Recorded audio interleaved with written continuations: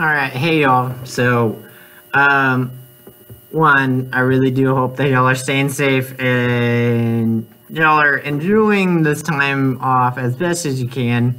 Uh, I'm sure some of you are like, wait, there's a pandemic going on. I'm just always on my phone.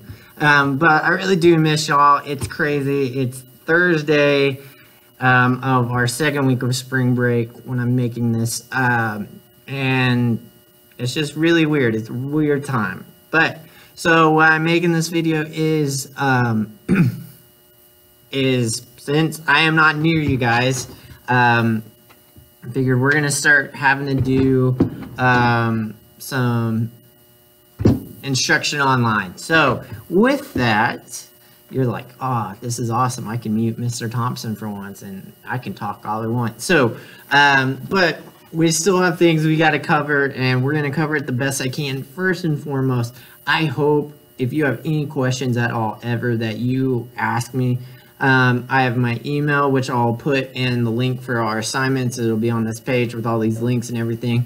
Um, or you do remind. I am working, like I said, this is Thursday. I'm working on trying to come up with some like office hours over like a video chat. So maybe Tuesday whenever our assignments for math are are supposed to be assigned.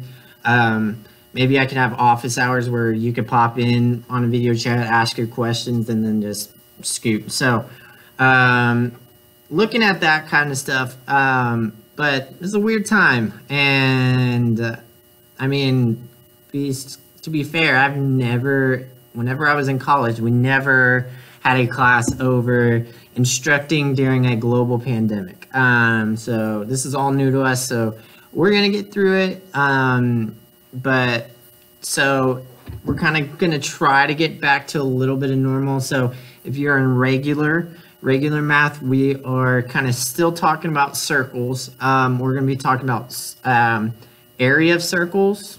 So like all the space inside of a circle calculating that, and then we're talking about circumference, which is basically the perimeter. It's like the distance around it.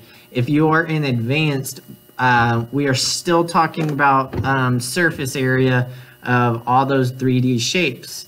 So should be kind of still continuation. So um, like I said, any questions at all, please ask. Um, please have your parents ask. Um, if you have internet access, just know that you have a ton of resources, which I will try to link um, somewhere on my page on my Google Classroom. If you're part of my Google Classroom, um, my packets, things like that. Whatever, I'm gonna just, I have all this time, so I'm just gonna try to cast a wide net. So we're gonna get through this. Um, I miss you guys, but we gotta get down to some math. So let's let's get to it.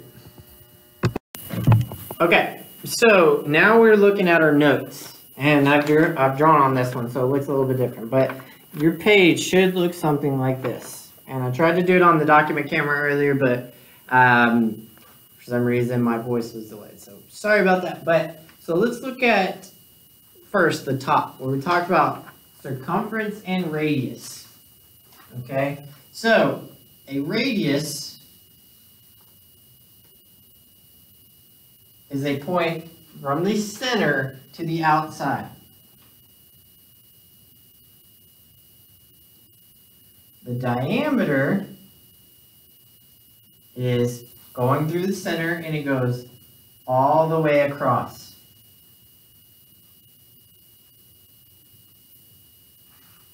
And our important, our important relationship between the two is if I have a radius my diameter is going to be twice the length of the radius.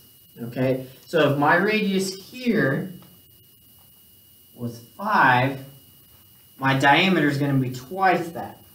Okay, so then going all the way across would be 10. Because if I drew another radius from the point outwards, that's another 5, 5 units. And so together, that's 10.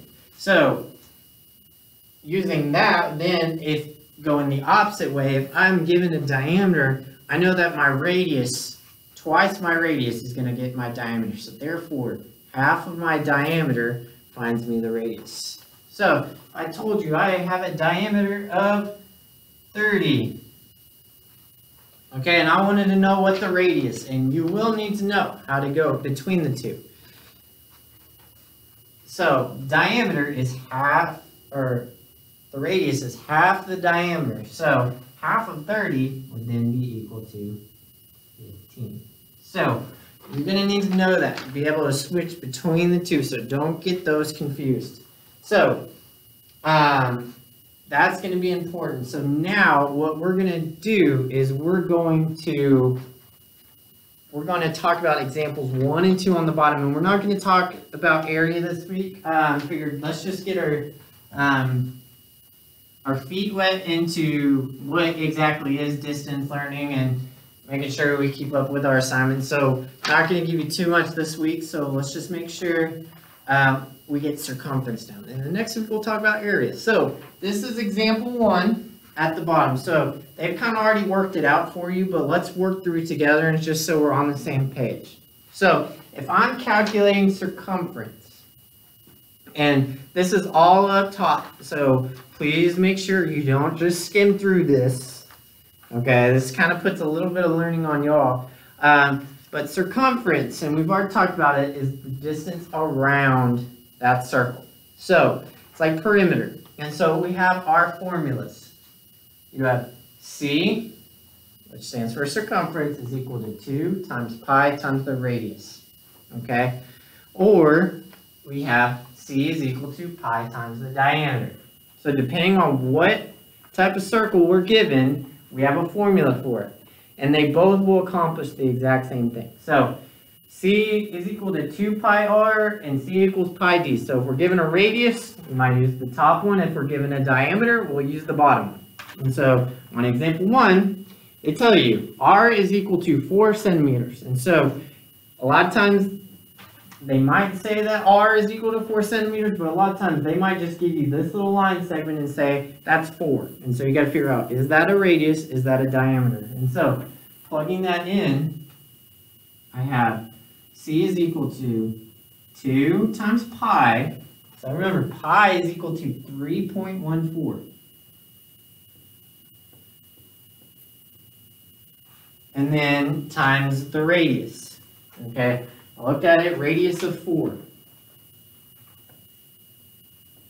So now that we have all our numbers plugged in, all we have to do is multiply. And it does not matter what order that we go whenever, whenever we're multiplying three numbers in a row, okay? We could start out by doing 2 times 3.14 and then multiply it by 4. I could do my whole numbers and then multiply it by 3.14. Whatever works for you. Um, so I actually, let's, I actually like to do that, that latter way. So 2 times 4 is 8. So then we're just left with 8 times 3.14. And whenever we do that, we should get a circumference of 25.12 centimeters. All right, so all you do once you plug your formula in is you multiply. Okay, all that's happening here. You can check your work with the calculator. Like I said, I'm not there, so to kind of look over it, but I strongly suggest that you do it by hand first and then check it with a calculator. Okay? So, given a radius, we plugged it into the formula that involves radius. But what I like to do is, and when we go into that formula, I actually like C equals pi times diameter a lot better because you're multiplying two numbers as opposed to three. Okay? Work, work smarter, not harder. So I would look at this and I say, radius was 4. Hey, diameter then is twice that, so it's 8. And then I just do 8 times 3.14. And then I've already skipped a whole bunch of steps. Okay? So, brings us into this next one. So, example 2, you have a diameter of 10. And they even tell you diameter D is equal to 10 centimeters. So, all we do here, again, is know it's our diameter, and so we plug it in. So, you get 3.14 times our diameter, which is 10, And whenever we do that, three point one four times ten, that's equal to thirty-one point four centimeters. Okay, so all we're doing is plugging things in. So now what we're gonna do, get this homework page in front of you. If you have it on open in a tab, that's fine. Just where you can have the video open too. This is gonna be where your assignment's gonna come from. Okay, so Okay, so what we're gonna look at is problem one and problem five together. So whenever you do this and how I'm gonna record your answers is you are gonna take the problems that I assign here in a little bit. And whenever you have solved it, you're gonna plug them into this Google form. Um, and then that's how I'm gonna grade it, okay?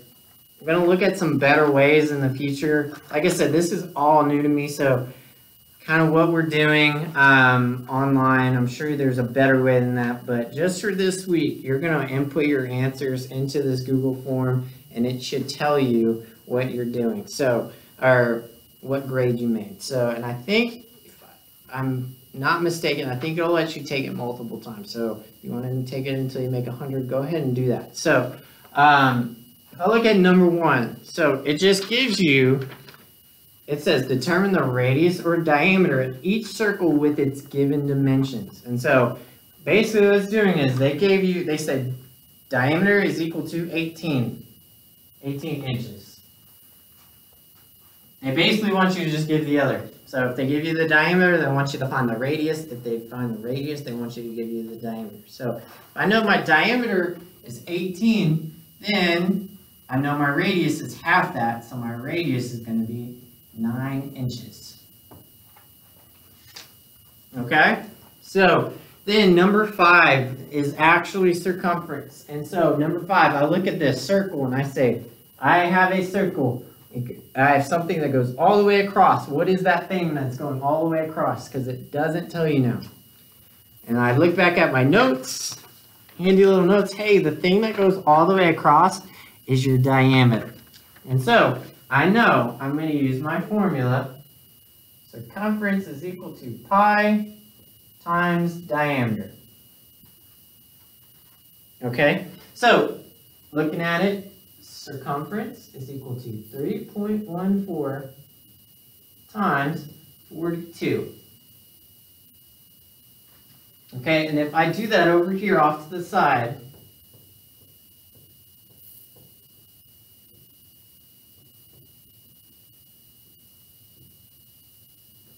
And super messy, and I apologize, but what are you going to do?